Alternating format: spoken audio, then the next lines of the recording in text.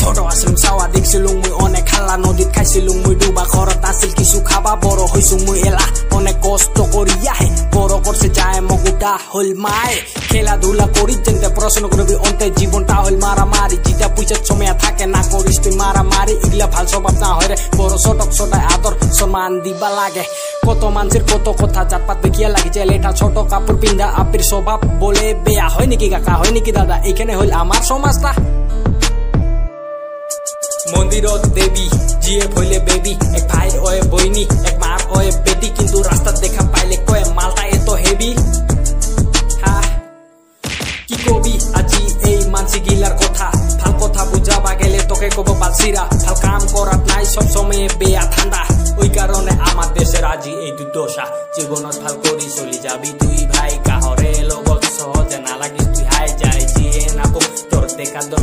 নিজের কামের মতে কাম রাখিবি তুই ভাই জীবনত ভাল করি চলি যাবি তুই ভাই কাহরে লগত সহজে না লাগিস তুই হাই যাই জিয়ে নাকো তোর দেখার দরকার নাই নিজের কামের মতে কাম রাখিবি তুই ভাই क्यों लड़कियां अकेले बाहर नहीं निकल सकती क्यों लड़कियां देर रात तक नहीं घूम सकती क्यों लड़कियों पे इतनी सारी पाबंदी है क्या लड़कियों के जन्म लिया यही उनकी भूल है इस दुनिया में कोई किसी का नहीं होता है यहाँ अपनों के बीच धोखाधारी होता है बेटा पैसा कमाने पर बाप को लात मारता है। केरी भाई ने सही बोला, दुनिया मादर चूत है। सबको पता है यह राजनीति का है खेल।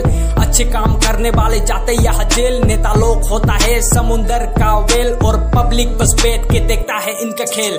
अलग भाषा, अलग ढंग, सबको दिखता है। नया रंग, हक के लिए लड़ने जाओ तो तुझे भूलेगा तू शैतान। बेईमानी करके कमाते हैं ये अनेक धन। साले भोसरी वालों, तुम्हारा बाप शैतान।